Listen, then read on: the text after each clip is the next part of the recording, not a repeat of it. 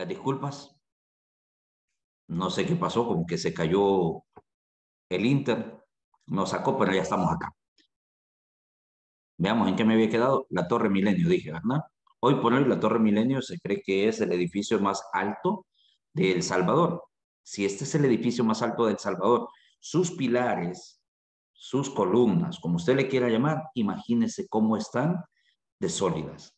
Ahora bien, ¿cómo debe estar de sólido nuestro conocimiento en cuanto al inbound marketing?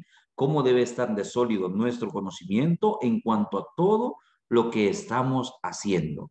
Necesitamos sí o sí que todo el producto, todo lo que nosotros estamos ofertando, conocerlo de la mejor manera. Y este conocimiento me va a llevar a tener éxito en todo lo que hago. El pilar de contenido, una página web que profundiza acerca de un tema amplio y a la que se le llega a partir de un conjunto de temas relacionados. Conjunto de todos los temas, ¿cómo se van relacionando? ¿Cómo los vamos uniendo? ¿Cómo los vamos mezclando? Decíamos en el caso del calzado, no se vende un solo tipo de calzado, no solo se le vende al hombre, no solo se le vende a la mujer, sino que hay una variedad y esta variedad de calzado es el punto de temas de los cuales podemos estar hablando y estar construyendo nuestro edificio. Entonces, ¿cómo podemos hacer para crear un conjunto de temas eficaz? Primero, elige un tema principal. El tema principal o general debe llevar dos o tres palabras. Por ejemplo, en este caso, la clasificación de los prospectos. Hago la especificación. He tenido el conflicto con esta palabra por una razón, porque la traducción como tal es guía, pero la traducción dentro del ámbito de mercadeo, la más aceptada es prospecto. Entonces, ¿cómo clasifico yo a los prospectos? ¿Cómo llego a donde ellos se encuentran? ¿Y cómo les ofrezco el producto o servicio que yo tengo? Identifique el conjunto de temas que incluye varios subtemas relevantes. Entre estos varios subtemas relevantes tenemos el tema principal, que es la clasificación de los prospectos. Primero, ¿cuál es el marco de clasificación? ¿Por qué digo yo que ellos son mis prospectos? ¿Por qué digo yo que ellos son a quienes les voy a vender? Ah, porque tengo un checklist donde voy chequeando todo, ¿verdad? Donde voy cumple la edad, cumple la localidad, cumple el género, cumple los intereses, cumple, ¿se recuerdan del en personas? Aquí lo aplicamos también, donde vamos haciendo el checklist de todo lo que cumple. Ese es mi marco de calificación. Ahora, dentro del marco de calificación está ya la calificación específica de los prospectos. Por ejemplo, de todos los que estamos en este momento acá reunidos, ¿cuántos tienen emprendimiento? ¿Sí? De todos los que estamos acá, ¿cuántos tienen computadora? Ya voy, Samuel. De todos los que estamos acá, ¿cuántos tienen teléfono? Ya voy, Jenny. De todos los que estamos acá, ¿cuántos tienen? ¿Sí? Y esto me está permitiendo darle una calificación. ¿Cuál es la calificación?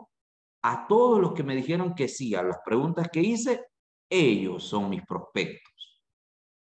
Los que me dijeron que no en una u otra, ahí lo tenemos. No lo estamos descalificando todavía, sino que ahí lo tenemos. Ahora vamos a qué es el BANC. B-A-B-A-N-T, el BANC es un acrónimo o son siglas de lo siguiente. La primera, la letra B, es de budget o presupuesto. Si es el presupuesto, ¿con cuánto cuenta? Creo que lo hablaba con ustedes. ¿Cuánto valen los apartamentos de ahí de la zona alta de San Salvador? ¿Cuánto debo ganar mensualmente para poder optar a ellos? ¿Puedo entonces, si gano el mínimo, no, lo siento, me queda solamente como un sueño vivir allí. Porque si usted alquila una habitación allí, bueno, el apartamento se puede alquilar, me cuento. Hoy está la opción del alquiler de los apartamentos como que fuera hotel. Si usted lo alquila, le cuesta entre 100 a 120 dólares el día. Eso significa que con mi salario mínimo yo puedo vivir tres días y medio en ese apartamento. Si lo consigo en 100 dólares. Si lo consigo en 120, puedo vivir exactamente tres días y los 5 dólares del bus para que me lleve y viva ahí. Sin derecho a alimentación. Solamente con el derecho a vivir ahí. Presupuesto, ¿me alcanza? ¿Le alcanza para comprar el producto, el servicio que yo tengo? Lo vamos a ir evaluando. ¿Cómo lo evaluamos? Por ejemplo, le decimos, si estamos dando crédito, mire, y usted tiene crédito en otra empresa. Ah, sí, yo tengo crédito en... Híjole, tiene 20 créditos, ¿cómo hace entonces para pagar si solo lo tiene un salario mínimo? Como que ya no nos funciona mucho porque no le da el presupuesto para, pero nos agrega algo y nos dice, ah, es que yo recibo una remesa de mil dólares mensuales. Ah, ok, entra en la clasificación de que le podemos vender.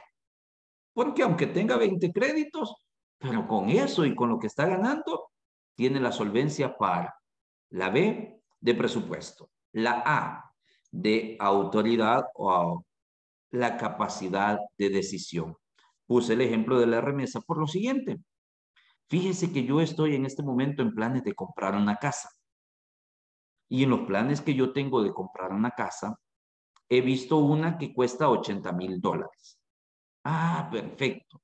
Pero para que usted pueda aplicar a una casa de 80 mil dólares necesita ganar un promedio de mil a 1.500 dólares mensuales. ¿Los gana? No, solamente gano 700. Ah, entonces no puede aplicar. Ah, no, pero fíjese que recibo una remesa de mil dólares mensuales. Entonces llego a 1.700.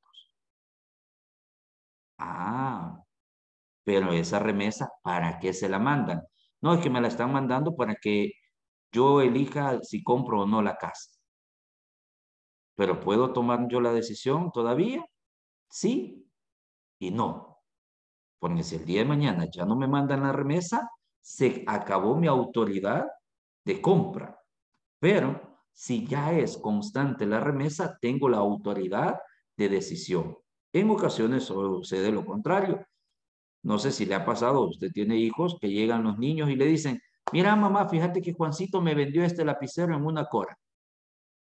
Y hoy se han hecho tan comerciantes los niños en los colegios que a mí me sorprende. Pero bien, me vendió este lapicero Juancito en una cora.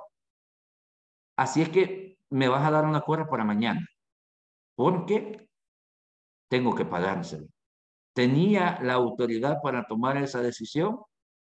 No. ¿Nos consultó? Sí, nos dijo que tenemos que darle la cora para pagar, pero no tenía la autoridad. En este caso, vamos a buscar que la persona tenga la autoridad para la compra. Need o necesidad. ¿Qué solución real va a brindar usted con su producto o su servicio? ¿Cuál es la solución real a la necesidad que tiene la persona?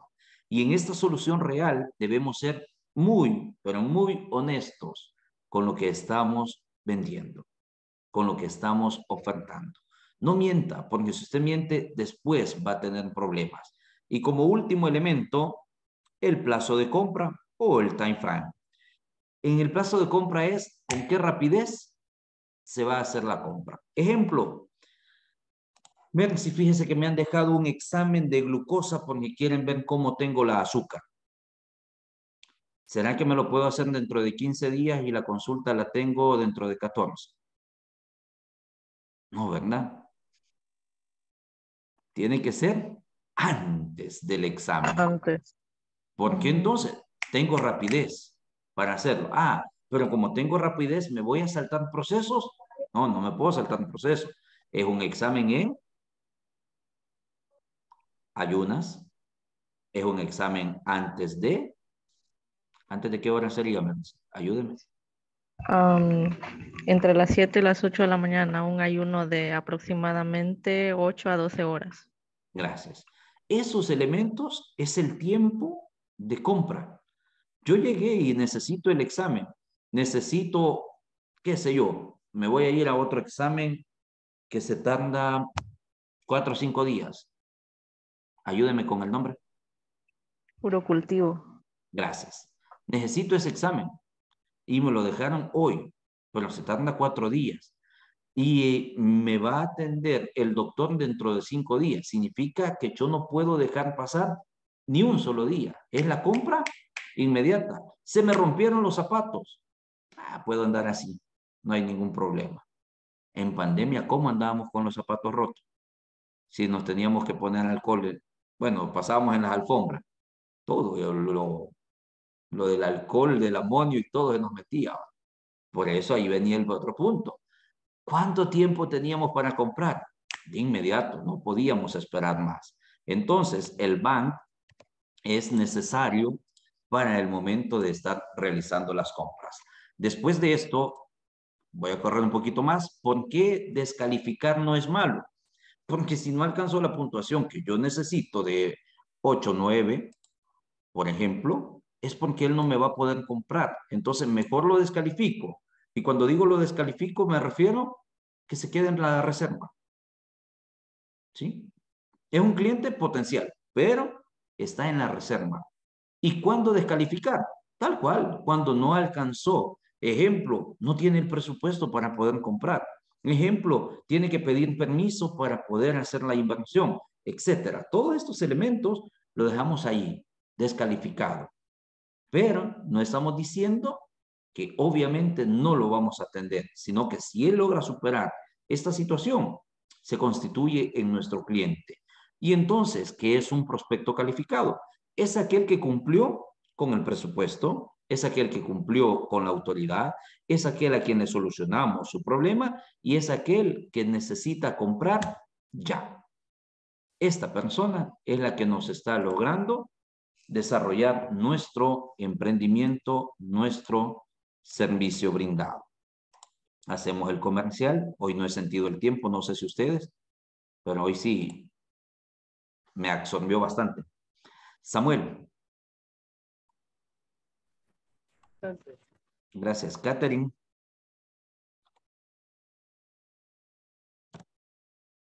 Marmin Rudy. Gracias. Tatiana Michelle. Presente. Gracias. Stephanie Larisa. Stephanie. Ok. Presente. Ah, gracias. Ya le estaba poniendo en asistencia. Carla. Presente. Gracias. Rosa Elizabeth. Presente. Gracias. Jennifer Pamela. Presente. Gracias. Kenia Mengíbar. Presente. Gracias, Kenia, por conectarse. Mercy. Presente. Helen. Presente. Gracias. Alexandra. Presente, Liz. Gracias. José Aristides. Presente, licenciado. Gracias. Cintia. Presente. Gracias. Marvin Noel.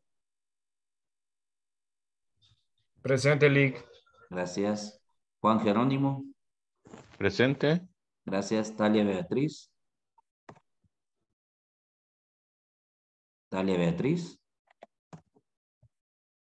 Blanca Marlene. Presente. Gracias, Dagoberto. Gracias, Elías Ernesto.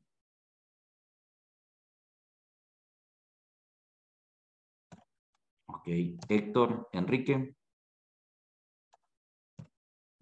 Presente, licenciado. Gracias. Y Roxana Elizabeth Murcia.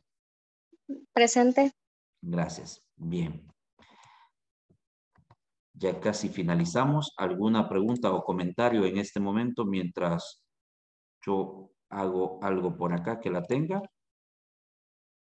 Le escucho.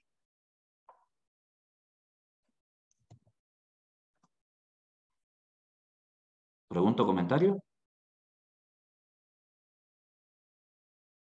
Bien.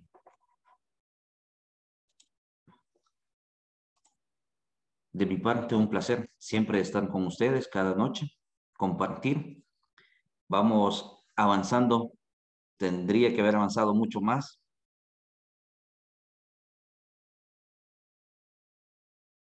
Hoy sí. No sé si se me escucha bien. Sí, ok. Entonces, un placer nuevamente estar con ustedes, compartir cada noche, decía por ahí. Vamos avanzando. Tenía que avanzar más, tenía que correr un poquito más. Eh, me comprometo a hacerlo el día lunes. Les voy a enviar la presentación hasta este momento, cómo vamos con el, los ocho temas ya abordados y usted pueda realizar los laboratorios. Gracias por su tiempo, gracias por el esfuerzo.